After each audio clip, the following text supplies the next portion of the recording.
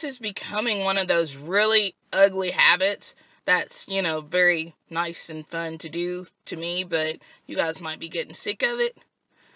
But I want to share it. So, got an envelope from Black's Tropical Homestead. Let's see what's in it. Hey, look at that. I like that. Stickers.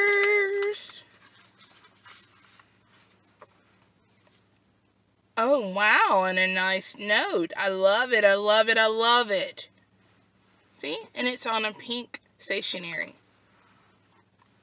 Check that out, Soil Family. Woo! Thanks, Black's Tropical Homestead.